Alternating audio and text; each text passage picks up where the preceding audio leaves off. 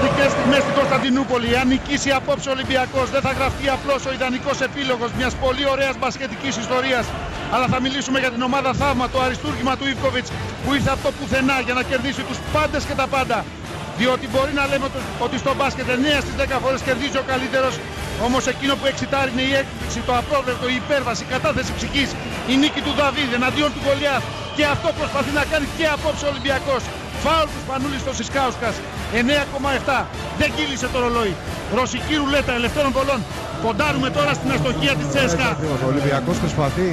Η πρώτη απόπειρα είναι αν μπορέσει να κλέψει την μπάλα. Από εκεί και πέρα, μόλις μπει η μπάλα μέσα, πρέπει να κάνει φάουλ και να περιμένει την αστοχία των παιχτών της ε, Τσέσκα. Και από εκεί και πέρα να πάει σε μια γρήγορη επίθεση. Μοναδικές στιγμές στην Κωνσταντινούπολη. 4.000 και πλέον Ολυμπιακοί. Έχουν Έξω. γίνει μια γροθιά με τους παίκτες και το τεχνικό team.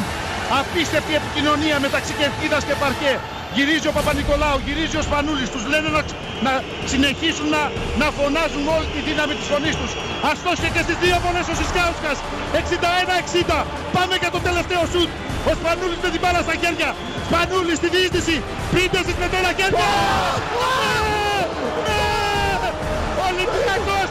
7 δέκατα πλέον το τέλος. Είναι πρωταθλητής Ευρώπης. Τολμάω να το πω. Παρότι υπάρχει χρόνος. Ο Ολυμπιακός. 7 δέκατα πριν από το τέλος. Αγγίζει το θαύμα. Αγγίζει την τελειότητα. Και όντως η τέλος.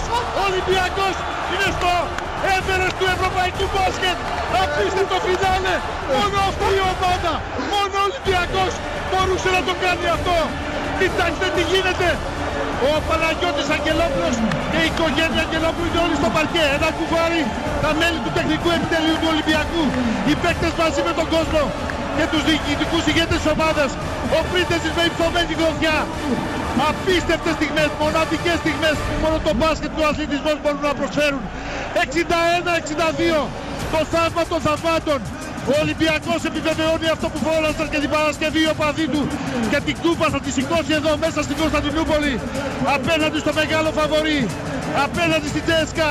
Ολική επαναφορά, ολική ανατροπή, κατάθεση ψυχής, ξεπέρασαν τον εαυτό τους. Μια ομάδα που το πίστευε από την αρχή μέχρι το τέλος, κοντά σε όλους και, και σε όλα.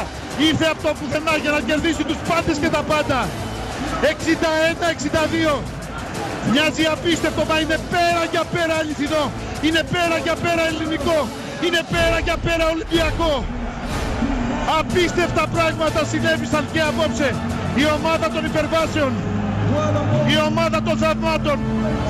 Η ομάδα του Ιβκοβιτς. Η ομάδα των Αγγελόπουλων. Το άξιζαν. Έχουν ξοδευτεί εκατοντάδες εκατομμυρίων ευρώ τα τελευταία χρόνια από αυτή την οικογένεια. Για να επιστρέψει ο Ολυμπιακός στην κορφή της Ευρώπης. Μετά τη Ρώμη του 97. Στη Νέα Ρώμη ο Ολυμπιακός είναι και πάλι πρωταθλητής Ευρώπης. Πρώτα προετοίμασε αυτή τα ψυχολογικά. Πρώτα προετοίμασε το μυαλό αυτών των παιδιών και μετά το σώμα τους για να παίξουν και να κερδίσουν οποιοδήποτε αντίπαλο. Ο Ολυμπιακός στον 7ο ουρανό. Ο Ολυμπιακός στην κορφή της Ευρώπης και πάλι. Μετά το 97 είναι και πάλι πρωταθλητής Ευρώπης το 2012 μέσα σε αποθέωση. Στην 7η εμφάνισή τους σε Final Four. Στην 5η συμμετοχή του σε τελικό φέρνει το δεύτερο ευρωπαϊκό. Για τρίτη φορά τα τελευταία τέσσερα χρόνια σε Final Four.